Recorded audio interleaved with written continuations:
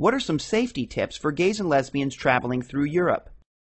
As far as safety tips is it's a lot of it's going to be common sense. Italy is notorious for pickpockets and, and you need to be aware of that.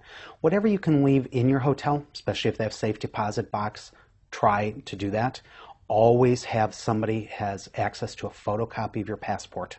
So in case it is stolen, that can be faxed to the U.S. closest U.S. consulate or embassy so that you can get back into the country. Um, don't carry a lot of cash and don't wear a lot of jewelry, especially in Southern Europe, because it is going to be a target. You're going to be a target. In any big city, avoid late night, and if you are out in the bars and you're coming out at 4 in the morning, take a taxi.